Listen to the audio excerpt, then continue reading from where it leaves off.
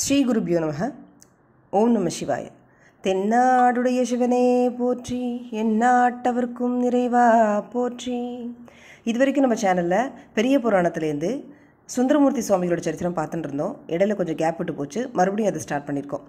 இது வரைக்கும் நீங்கள் அதை பார்க்கலனா பிளேலிஸ்டோடைய லிங்க்கை டிஸ்கிரிப்ஷன் பாக்ஸில் கொடுக்குறேன். கண்டிப்பாக போய் செக் பண்ணி பாருங்கள் சனாதனத்தை பற்றியோ வர்ணாசிரம தர்மத்தை பற்றியோ தெரிஞ்சுக்கணுன்னா அதுவும் தமிழில் தெரிஞ்சுக்கணுன்னா பெரிய புராணத்தை தெரிஞ்சிருந்தாலே போதும். இதில் இருக்கிற ஒவ்வொரு கதைகளும் நமக்கு பலவிதமான மாரலை சொல்லிகிட்டே இருக்குது இதை ஒவ்வொருத்தரும் ஒவ்வொரு ஆங்கிளில் இந்த கதைகளை பார்த்தா அவங்களுக்கு ஒவ்வொரு விதமாக அது பதில் சொல்கிறது எல்லா மதத்திலையுமே பிரார்த்தனை பண்ணுறது பகவான் நமக்கு மேலே ஒரு இறைசக்தி இருக்குது அந்த இறைசக்தியை பிரார்த்தனை பண்ணிக்கிறதுங்கிறது எல்லா மதத்திலையும் இருக்குது அமர்ந்து நெடுங்குரலில் அயல்மலையாளர்களுடன் அழுத்த பழங்கதைகள் நினைத்து நினைத்து சொல்வார். நிமலனை பாடவா என்றால் நேரமே இல்லை என்பார். இவர்கள் நம் வழிபடுதல் கடினம் அப்படிங்கிறார் அகத்தியர். மற்றவங்களுக்காகவோ தனக்காகவோ பிரார்த்தனை பண்ணுறதுல யாருக்கும் இஷ்டம் இல்லையே தவிர அந்த பிரார்த்தனையினால் கணக்கக்கூடிய அனுகிரகத்தில் மட்டும் எல்லாருக்கும் இஷ்டம் இருக்குது பலனை மட்டும் இஷ்டம் இருக்கே தவிர பிரார்த்தனையில் இஷ்டம் இல்லை. இதை எதிர்பார்த்து தான் அந்த காலத்திலேயே ரிஷிகள் உருவாக்கி வச்சதை அந்த தர்மத்தை கடைபிடிக்கணுங்கிறதுக்காக ஒரு சிஸ்டமாக உருவாக்கி வச்சது தான் வர்ணாசிரம தர்மம் இதில் யார் யாருக்கு எப்படி எப்படி இருக்கணுமோ அதன்படி அவள் இருக்கிறதுக்கான ஒரு தர்மத்தை ஒரு சிஸ்டமேட்டிக்காக உருவாக்கி வச்சுருக்கா. பணம் சம்பாதிக்கணும்னு நினைக்கிறவா சில பேர் பணம் சம்பாதிக்கிறதையே நினச்சிட்டு அலைய அலைவா இல்லையா? அவளுக்குன்னு ஒன்று அவளுக்குன்னு ஒரு தர்மம். சில பேர் தன்னுடைய உடல் வலிமையை மக்களுக்கு பிரயோஜனமாக மாற்றுவாள் அதாவது ஆர்மியில் போலீஸில் இந்த மாதிரி இருக்கிறது. இவங்களுக்கு தொண்டு ஊழியம் பண்ணவே அதாவது இவங்களுக்கு வேலை செய்யறதே சில வாழ்க்கை சில பேருடைய வாழ்க்கையாயிடும். அவங்களுக்கும் பிரார்த்தனை பண்ண நேரம் இருக்காது. ஆனால் உலகத்தில் இல்லை எல் எல்லா உயிர்களுக்குமாக பிரார்த்தனை பண்ணுறதுக்குன்னே ஒரு குலம் இருக்குது அப்படின்னா அதுதான் அந்தனர் குலம். அந்தனர் என்போர் அறவோர் மற்றெவ்வுயிருக்கும் செந்தொன்மை பூண்டொழுகலார். எல்லா உயிர்களுக்காகவும் பிரார்த்தனை பண்ணக்கூடிய ஒரே குலம் வந்து அந்தனர் குலம் தான் இதுக்கு தான் வர்ணாசிரம தர்மம் ஏற்படுத்துது. ஏன்னா ஃப்யூச்சரில் எப்படி ஆகுங்கிறது ரிஷிகளுக்கு தெரியும். அதனால தான் அந்த காலத்தில் ஏற்படுத்தி வச்சேன் சுயநலம் இல்லாமல் அவரவர்களுடைய தர்மத்தை ஃபாலோ பண்ணிட்டு சர்வேஜனா சுக்கினு பவன் தூங்குறதையும் எல்லார் மனசுலையும் இருக்கணும் அப்படிங்கிறதுக்காக தான் தனித்தனியான குலங்கள் ஏற்பட்டது. அந்தனர்களுடைய கடமை என்னென்னா அத்தியனம் அத்தியாபனம் யஜனம் யாஜனம்.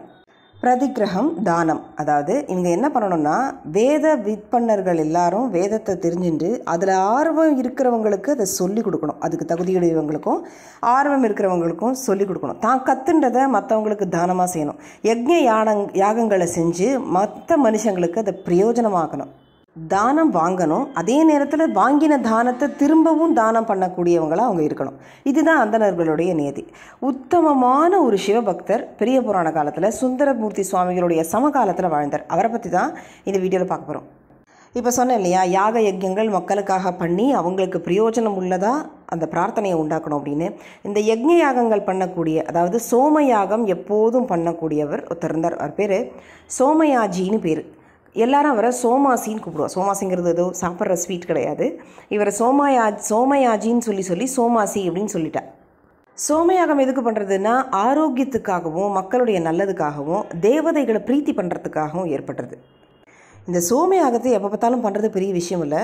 நல்ல ரொம்ப சாதாரண விஷயம் இல்லை. ரொம்ப நல்ல அந்தணர்கள் வேத விற்பனர்களை அழைச்சி பெரிய லெவலில் பண்ணக்கூடிய யாகம் தான் இது. ஆனால் பலன் என்னமோ உலகத்துக்காக. சுந்தரமூர்த்தி சுவாமிகள் இனிமே தான் இவரை பார்க்கவே போகிறார் இப்படி ஒரு நாயனார் இருக்கிறாருன்னு அவருக்கு தெரியாது. ஆனால் முன்னாடியே பாடி வச்சிட்டார். அம்பரான் சோமா சீமாரனுக்கும் அப்படின்னு பாடிட்டார். இதில் இவர் பே இவர் வந்து அம்பர அம்பர் அப்படிங்கிற ஊரில் பிறந்ததுனால அம்பரான் சோமாசி மாரநாயனார் அப்படிங்கிறதுனா இவரோட சோமயாஜி மாரநாயனார் அப்படிங்கிறது தான் இவரோட முழுமையான பேர். இந்த சோமயாஜி மாரநாயனாருடைய ஸ்வபாவம் எப்படி இருந்ததுன்னா யாரை பார்த்தாலும் அதாவது சிவபக்தர்களாக இருக்கக்கூடிய அடியவர்கள் யாரை பார்த்தாலும் அவர்கள் எல்லாருக்குமே தான் அடியவராக இருக்கக்கூடியவர் அப்படின்னு நினைக்கிறார் அவர். எந்த ஒரு ஜாதி மதத்துக்கிடையும் பேதமே பார்க்க மாட்டார் அவர். சிவனடியார்கள் எல்லாரையுமே சிவனாகவே பார்க்கக்கூடியவர் தான் இவர். ரொம்ப எளிமையான ஒரு வாழ்க்கை வாழறார். அனுஷ்டான சீலர் அவ்வளோ கரெக்டாக இருப்பார்.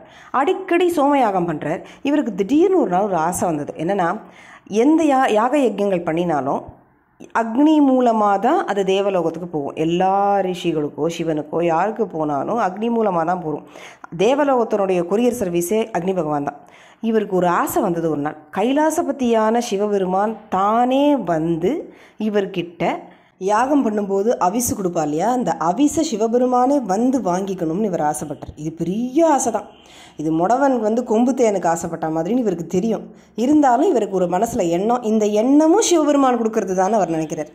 சரி இப்போ இதை யார்கிட்ட கேட்கலாம் அப்படின்னா எந்த ஒரு விஷயத்தை யார்கிட்ட கேட்டாலும் கிடச்சிடும் ஆனால் பகவானையே ஈசனையே கேட்கணும்னா குருநாதர் அனுகிரகம் இருந்தால் மட்டும்தான் அது கிடைக்கும். அந்த சமயம் இவர் வந்து சுந்தரமூர்த்தி சுவாமிகளை பற்றி கேள்விப்படுறார் இவர் வந்து பகவான் வந்து தன்னுடைய ஃப்ரெண்டுன்னு சொல்லியிருக்கார். இந்த இவருடைய சரித்திரங்கள் பூரா எல்லாருக்கும் தெரிகிறது. ரொம்ப ஃபேமஸாக இருக்குது சுந்தரமூர்த்தி சுவாமிகள்.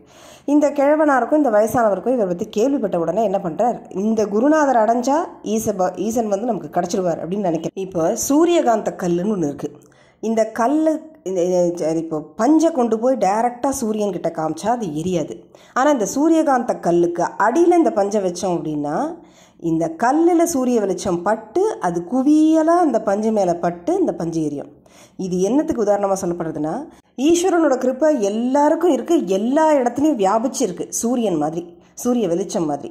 ஆனால் எல்லாரோட பாபங்களும் போகிறதில்ல குருநாதர் யாருக்கு கிடைச்சாரோ அவளுக்கு மட்டும்தான் பாவம் போகிறது பகவான் கிடைக்கிறான் அப்படிங்கிறதுக்கு உதாரணமாக சொல்லப்படுறது சூரியகாந்த கல் மாதிரி குருநாதர். அந்த நம்ம மேலே பகவத் கிருபையை குவிச்சு கொடுக்கக்கூடியவராக அவர் இருக்கார் நமக்கு இடையில. சூரியனுக்கும் பகவானுக்கும் நமக்கும் இடையில சூரியகாந்த கல் மாதிரி குருநாதர் இருந்து நமக்கு பகவானை எடுத்து நம்ம கையிலேயே கொடுக்குற யார் ஒருத்தருக்கு குரு கிருப்பை கிடச்சிடுதோ அவள் வீடு தேடி பகவான் வரான். அது யாராக இருந்தாலும் சரி அவள் எப்பேற்பட்ட பாவியாக இருந்தாலும் சரி அந்த குருநாதர் சொன்ன ஒரு வார்த்தைக்காக பகவான் வந்து வாசல் அனுப்பான். இது பல பாண்டவங்களுடைய சரித்திரம் நிறைய சரித்திரங்களில் நம்ம பார்க்கலாம். சமயக்காரன்னா சமயக்காரனாகவே போவான். ஒரு பார்பர்னா பார்பராகவே அந்த பகவான் ஆகி அவனுடைய குடும்பத்தில் ஒருத்தராக ஆயிடுறான். குருநாதரை நம்மள மாதிரி சாதாரண மனுஷர் தான் அவர்னு யார் நினச்சிட்டாலோ அவளுக்கு எத்தனை ஜென்மா எடுத்தாலும் விமோச்சனமே கிடையாது. திரும்ப திரும்ப பிறந்துட்டே இருக்க வேண்டியதான் இப்போ இவருக்கு சிவ தரிசனம் வேணும். தன்னுடைய யஜ்ஞத்துக்கு சிவபெருமானே வந்து அவிசு வாங்கிக்கணும்னு ஆசை வந்துடுது. திருவாரூரில் இருக்கார் சுந்தரமூர்த்தி சுவாமிகள். இவர் எங்கே இருக்காருன்னா போலகம் பூந்தோட்டம் இந்த இடம் இருக்கும் இல்லையா? திரு அந்த ஏரியாவில் ஒரு கிராமத்தில் அம்பருங்கிற ஊர் நான் ஏற்கனவே சொன்னேன் இல்லையா? அந்த அம்பருங்கிற ஊரில் இவர் இருக்கார். இங்கிருந்து திருவாரூருக்கு அது திருவாரூர் டிஸ்ட்ரிக்ட் தான் ரொம்ப டிஸ்டன்ஸ் அந்த இடத்துக்கு நடந்தே போவாராம் தினமும். ஒரு நாள் என்ன நினச்சினார் குருவை பார்க்க போகணுன்னா எப்போதுமே வெறுங்கையை வீசிட்டு போகக்கூடாது. குருவை பார்க்குறோன்னா ஏதாவது ஒன்று வாங்கின்னு போகணும். நம்மளால் என்ன முடியுமோ அதை வாங்கின்னு போகணும். ஒரு தடவை ராமகிருஷ்ண பரமம்சரோட கதையில் வரும். ஒருத்தர் என்ன பண்ணாரா? டெய்லி ராமகிருஷ்ண பரமஹம்சர் சாயந்தர வேளையில் ஏதாவது கதா காலட்சேபம் மாதிரி பகவான் சம்மந்தப்பட்ட விஷயம் ஏதாவது பேசுவாராம் அதை நிறைய பேர் கேட்க வருவாராம் இதில் ஒரு ஏழையான ஒருத்தரும் வரார் ஒரு ஒரு சாதாரண குடியானவன் ஒருத்தர் வரார் அவர் தினமும் வந்துட்டு சந்தோஷமாக கேட்டுட்டு போகிறார் ஒரு நாள் ராமகிருஷ்ண பரமசர் கூப்பிட்டு சொன்னாராம் நீ யார்? எங்கேருந்து வரேன்னு கேட்டாரா. இங்கே பக்கத்தில் தான் இருக்கேன். உங்களை தினமும் இங்கே வந்தால் உங்களை தரிசனம் பண்ணிட்டு கேட்டுட்டு போவேன் அப்படின்னு. ஏன் வர? அப்படின்னு கேட்டாராம் எனக்கு இங்கே வந்தாலே மனசு நிம்மதியாக இருக்குது சந்தோஷமாக இருக்குது அதான் வரேன் அப்படின்னா சரி வெறும் கையை வீசிட்டு இந்த மாதிரி வரக்கூடாது. உன்னால் எதுவுமே முடியாது பாவம் எனக்கு உன்னை பற்றி நன்னா தெரியும். நாளைக்கு என்ன பண்ணு? கொஞ்சம் கொட்டைப்பாக்கு எடுத்துக்கோ. அந்த கொட்டைப்பாக்கை நன்னா இடித்து பொடி பண்ணிக்கோ.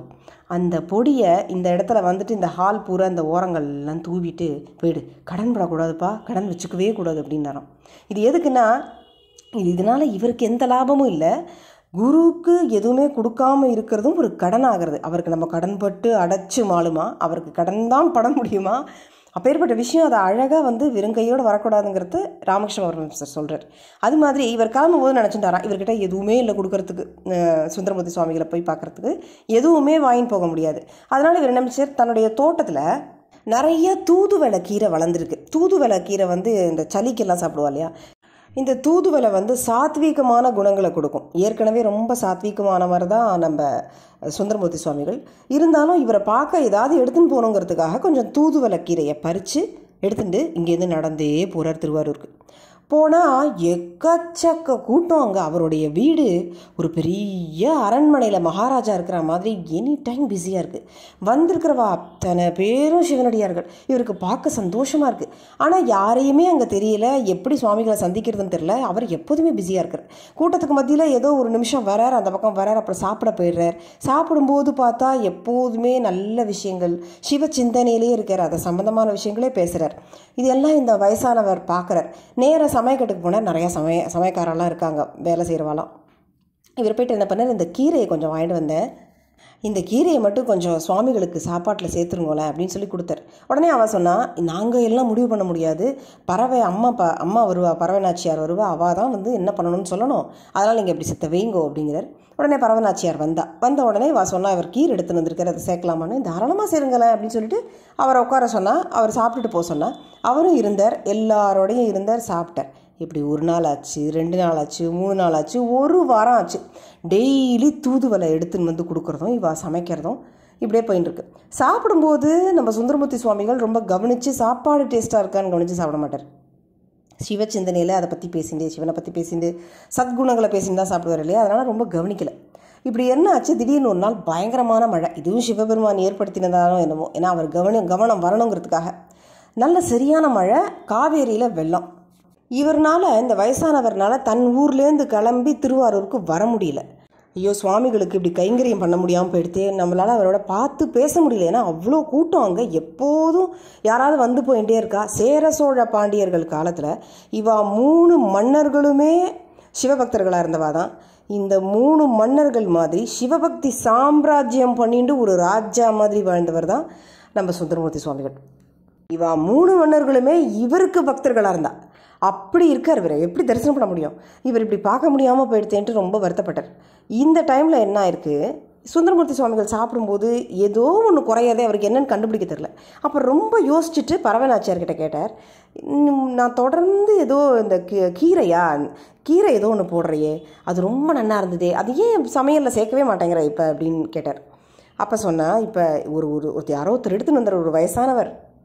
தூதுவளை கீரை அதை தான் பண்ணிட்டு இருந்தேன். அவர் வந்து இப்போ வரவே இல்லை. என்னன்னு தெரில அதனால தான் விட்டு போச்சு அப்படின்னார் அப்படியா? எதுக்காக வந்தார் அவர்னு கேட்டேன். நானும் கேட்கவே இல்லையே. எனக்கு தோணவே இல்லையே அப்படின்னார். ஏம்மா ஒரு எங்கேருந்தோ ஒருத்தர் வரார். ஏன் எதுக்கு வந்தார்? என்ன விஷயம்? என்னை பார்க்கறதுக்காக வந்தாரா? என்னன்னு கேட்க வேண்டாமா? நீ ஒரு வாரமாக வந்திருக்கன்னு கேட்க வேண்டாமான்னார் எனக்கு தெரியலையே நான் அவர் வந்தால் பிடிச்சி வைக்கிறேன் அப்படின்னு சொல்கிறேன் அடுத்த நாள் அதே மாதிரி மழையெல்லாம் ஊஞ்சு தூதுவளையோடு வந்தார் வந்த உடனே அங்கே இருந்த பறவை நாச்சியார் சொல்லிட்டா உங்களை சுவாமிகள் பார்க்கணும்னு சொல்கிறார் இங்கேயே வெயிட் பண்ணுங்க. எங்கேயும் போயிடாதீங்க அப்படிங்கிறார். இதுக்கு தானே அவர் காத்துட்டு இருந்தார். சுவாமிகள் வந்து இவரை பார்த்தார். சுந்தரமூர்த்தி சுவாமிகள். வந்தால் முருகன் மாதிரி திவ்ய தேஜஸோட அவ்வளவு ராஜா மாதிரி இருந்தாராம். எப்போதும் கல்யாண கோலத்து கோலத்தில் வேறு அவர் இருந்தாகணும். அவ்வளோ அழகாக இருந்தாராம் சுந்தரமூர்த்தி சுவாமிகள். பார்த்துட்டு அப்படியே பிரமிச்சு போயிட்டாராம். இந்த பெரியவர் தன்னை பற்றி சொன்னார் எல்லா விஷயத்தையும். அந்த பூந்தோட்டத்துக்கிட்டேருந்து நீங்கள் நடந்தே இவ்வளோ தூரம் கால்வழி பார்க்காம வந்தேளா அப்படின்னு சொல்லி கேட்குறாரு மகாபரிவா இந்த இடத்த சொல்லும்போது இந்த கதையில் சொல்லுவாராம் தூது போன தூது விளக்கீரைன்னு சொல்லுவாராம் அதனால் இந்த தூதுவளை கீரை தான் இவன் ரெண்டு பேருக்கு இடையில தூது போயிருக்கு. இவர் வந்து சொல்ல ஆரம்பித்தார் இந்த மாதிரி நான் அங்கேருந்து வரேன். என்ன விஷயமா என்னை பார்க்க வரையிலும் சொன்ன உடனே இவர் சொன்னார் எனக்கு ஒரு ஆசை. அந்த ஆசை நீங்கள் உங்கள் மட்டும்தான் நிறைவேற்ற முடியுங்கிறார். ஒரு நிமிஷம் நான் என்னங்கிறத சொல்லிக்கிறேன். என்னால் முடிஞ்சால் நான் செய்கிறேன் நான் எல் எதை வேணாலும் செய்வேன்னு சொல்லி நான் உங்களுக்கு வாக்கு கொடுக்கலன்னு அவர் முன்னாடியே சொல்லிக்கிறார். யார் சுந்தரமூர்த்தி சுவாமிகள் நீங்கள் நினச்சா கண்டிப்பாக நடக்கும். உங்களால் முடியாதது இல்லை இது. என் பேர் சோமயாஜி. நான் யாகம் பண்ணுறேன் எப்போதும் சோமயாகம் பண்ணுறேன் நிறையா பண்ணுறேன் எனக்கு வந்து அக்னி பகவான் கிட்ட நம்ம அவிசு வந்து இது பண்ணுவோம் இல்லையா? அதை சிவபெருமானே வந்து வாங்கிக்கணுங்கிறது தான் என்னோட ஆசை. இதை நீங்கள் சிவபெருமான் கிட்ட சொல்லி எனக்காக எனக்கு சிபாரிசு போகணும் தூது போகணும்னு சொல்லி சொல்கிறார் நீங்கள் எளிமையாக இருக்கே ஆனால் உங்கள் ஆசை அபாரமாக இருக்கே அப்படிங்கிறார் இவர். ஆமாம் சுவாமி எனக்கு தெரியும். ஆனால் இந்த ஆசையே சிவகிருப்பையினால தான் வந்ததோன்னு நான் நினைக்கிறேன் அப்படிங்கிறார். சரி நான் பிரார்த்தனை பண்ணிக்கிறேன்னு அவர் சொல்லிட்டார். சிவபெருமான் கிட்ட சுந்தரமூர்த்தி சுவாமிகள் பிரார்த்தனை பண்ணிக்கிறார். இந்த மாதிரி சோமயாஜியோடைய யாகத்துக்கு நீங்கள் நேர போகணுன்னு சொன்ன உடனே சிவபெருமான் சொல்கிறார் நீ சொல்லி நான் என்னைக்காவது இல்லைன்னு சொல்லியிருக்கேனா? நீ கேட்டு நான் என்னைக்காவது முடியாதுன்னு சொல்லியிருக்கேனா? கண்டிப்பாக போகிறேன் அந்த யாகத்துக்கு. ஆனால் ஒரு விஷயம் நல்ல ஞானமுள்ள நல்ல பக்தி உடைய அனுஷ்டான சீலராக இருக்கக்கூடிய ஒருத்தனால் நான் எப்படி போனாலும் அவனால் கண்டுபிடிக்க முடியும். இப்படி இருந்தால் தான் இப்படி உள்ளவனால் நான் எப்படி போனாலும் கண்டுபிடிக்க முடியும். அது வந்து அவன் ஒரு வேலை கண்டுபிடிக்கலைன்னா நான் அதுக்கு பொறுப்பு கிடையாது. அப்படின்னு சிவபெருமான் சொல்லிட்டார்.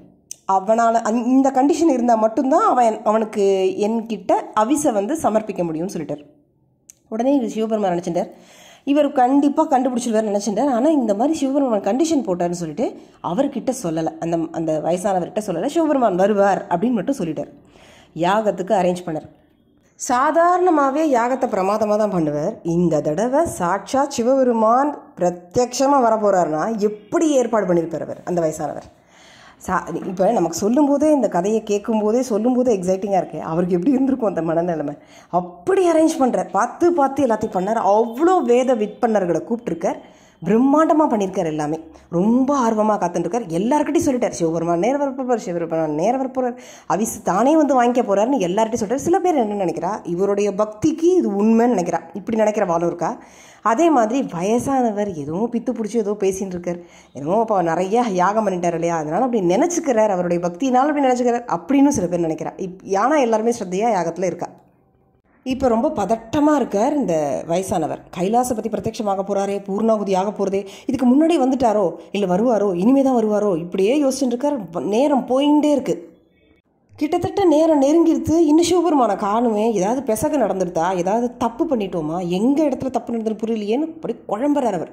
இப்போ என்ன ஆச்சு? திடீர்னு இந்த வேதம் சொல்லிட்டு இருக்கா இல்லையா? இவாளுக்கெல்லாம் ஒரே பயத்தை பெரட்டுறது வாந்தி எடுக்கும் போல் இருக்குது எல்லாருக்கும் த ஒரே தாங்கவே முடியல அங்கே பயங்கரமான நாத்தம். இது என்ன இவ்வளோ கேவலமாக நாடுறதுன்னு எல்லாரும் அப்படியே நிறுத்திட்டா சொல்கிறதே எல்லாம் நிறுத்திட்டா ஒருத்தருக்குமே ஒன்றுமே புரியல. மகாபரிவா இந்த இடத்த ரொம்ப அழகாக வர்ணிப்பறான் ஒரு சேரி பட்டாளமே வருதான். அதுவும் எப்படின்னா அந்த பஞ்சமன் வந்து அவன் பஞ்சமனுடைய மனைவி வந்து தலையில் ஒரு பெரிய குடம் வச்சுட்டுருக்கா அந்த குடத்தில் நிறைய கல் இருக்குது அதுலேருந்து வர நாத்தம் தான் இவாளுக்கு குடலை பிடுங்கிறது வேதமே சொல்ல முடியல இவாளால் அந்த நாத்தம். எல்லாம் சேர்ந்துண்டு எல்லாம் குண்டு குண்டாக இருக்குது எல்லாம் மத்தளம் அடிச்சுட்டு தமுக்கு அடிச்சுட்டு வருது. நாலு நாயை பிடிச்சிட்டு முன்னாடி ஒருத்தன் வரான் ஜெய்ஜான்டிக்காக இருக்கான் இவர் என்ன பண்ணுறார் இந்த சத்தம் கேட்ட உடனே திரும்பி பார்க்குறார். திரும்பி பார்த்த உடனே தெரிஞ்சிருது இவருக்கு பரமேஸ்வரன் தான் வராருன்னு. சிவகணங்களோட பரமேஸ்வரன் பார்வதி இந்த குடத்தில் த த தலையில் குடம் வச்சு வரவ பார்வதி. பார்த்த உடனே தெரிஞ்சிருது ஓடி வரார் அதுக்குள்ளேயும் இவர் அழைக்க வரத்துக்குள்ளேயும் ஒரே கலேபரமாக இருக்குது யார் இவாளை உள்ளே விட்டா? இவாளை யார் வர சொன்னால் இவாளை போக சொல்லுங்க அந்தண்ட அப்படின்னு இங்கே இருக்கிற வேத வே வேத விற்பனர்கள் எல்லாருமே கத்த ஆரம்பிச்சிட்டா. ஒருத்தருக்கு ஒருத்தர் ஒரே சண்டை. இதை இவர் பார்த்துட்டு இவர் எல்லார்கிட்டையும் சொல்கிறார் வந்தது வந்திருக்கிறது சிவபெருமான் தான் பரமேஸ்வரன் தான் வந்திருக்கார் நான் தான் சொல்கிறேன் இல்லையாங்கிறார். இவர் பேச்சை யாருமே கா கவனிக்கவே தயாராக இல்லை. சில பேர் என்ன பண்ணுறா நம்பரா இவர் சொல்கிறத இவர் வந்து சுந்தரமூர்த்தி சுவாமிகளை குருவாக அடைஞ்சிருக்கார். இவருடைய பக்திக்கு இவர் பண்ணின யாகத்துக்கு நிச்சயமாக சிவபெருமான் எந்த ரூபத்திலையும் வருவார்னு கண்மூடித்தனமாக கூட இருக்கிறவ சில பேர் நம்புறா ஆனால் நிறையா பேர் என்ன பண்ணுறா பயங்கரமாக கோவம் வருது. இதெல்லாம் என்ன அபச்சாரமான விஷயத்த பண்ணுறேன்னு சொல்லிட்டு அங்கேருந்து நாங்கள் இந்த யாகத்தில் இனிமேல் தலையிட வரமாட்டோம் அப்படின்னு சொல்லிட்டு பங்கு பங்கெடுத்துக்க மாட்டோம்னு சொல்லிட்டு அங்கேருந்து எழுந்து போயிடுறா. இந்த பெரியவர் ஓடி வந்து சிவபெருமானை மரியாதை பண்ணி அழைச்சி அவரை சாஷ்டாங்கமாக நமஸ்கரித்து அப்படி நிமிர்ந்து பார்த்தார். கங்காதரனா சந்திரச்சூடனா பொன்னார் மேனியோட செஞ்சடையோட சிவந்த கைகளை நீட்டி அவிசை வாங்கிக்கிற சிவபெருமான் அன்னைக்கு அற்புதமாக அவிசை படைச்சார். மகாபரிவா இந்த சரித்திரத்தை இப்படி சொ இந்த இது இதோட முடிக்காமல் மேலும் சொல்கிறார் அன்னைக்கு சிவபெருமான் அந்த அவிசை வாங்கிட்டு அவரை நம்பி இவருடைய நம்பிக்கைக்கு அங்கே இருந்த பக்தர்கள் அத்தனை பேரையும் சாதாரணமாக ஆசீர்வாதம் பண்ணலை அனுகிரகம் பண்ணலை எதுவும் இல்லை. நேர கைலாசத்துக்கு அழைச்சின்னு போயிட்டாலாம். அது மட்டும் இல்லை அன்னைக்கு நம்பாமல் எழுந்து போன அத்தனை வேத வித் விற்பன்னர்கள் மக்கள் யாராக இருந்தாலும் அத்தனை பேரையும் சிவபெருமான் சபிச்சாராம். இதுவும் அங்கே நடந்தது அப்படிங்கிறார் மகாபிரிவா. அன்னைக்கு அத்தனை பேரையும் அழைச்சிட்டு கைலாசத்துக்கு போனாராம் சிவபெருமான். இப்படி ஆச்சரியமான பல விஷயங்கள் நம்ம பாரத தேசத்தில் தான் நடந்திருக்கு. அதுவும் தென்னாட்டில் சிவபெருமான் திருவிளையாடல் பண்ணினது. நம்ம எல்லாருக்கும் மிகப்பெரிய பாக்கியம் புண்ணியம் இந்த பூமியில் பிறந்ததுக்கே நம்மலாம் பெருமைப்படணும். அதனால் இந்த சரித்திரங்கள்லாம் அவசியமாக எல்லாருமே தெரிஞ்சுக்கணும் குழந்தைங்களுக்கும் தெரியப்படுத்தணும். அதனால கேட்குற யாராக இருந்தாலுமே இந்த வீடியோவை சின்ன குழந்தைங்களுக்கு ஷேர் பண்ணுங்கள் சின்ன இந்த கதைகள்லாம் சின்ன குழந்தைங்களுக்கு தான் போய் சேரணும் கண்டிப்பாக இந்த மாதிரி சிவ சாம்ராஜ்யத்தை நடத்திட்டு இருக்கார் சுந்தரமூர்த்தி சுவாமிகள். தொடர்ந்து பெரிய புராணத்தில் அடுத்தடுத்த அதிசயங்கள் என்னென்ன பண்ணினார் சிவபெருமான் அப்படிங்கிறத அடுத்த வீடியோவில் பார்க்கலாம். இந்த வீடியோ உங்களுக்கு பிடிச்சிருந்தா லைக் பண்ணுங்க. இதே மாதிரி நிறைய சரித்திரங்கள் கேட்கணும்னா இந்த சேனலை சப்ஸ்கிரைப் பண்ணி வச்சுக்கோங்க. சரவண் ஸ்ரீகிருஷ்ணபுரம் அன்னைக்கு நமஸ்காரங்களுடன். ஸ்ரீமதி ராம்குமார். நன்றி.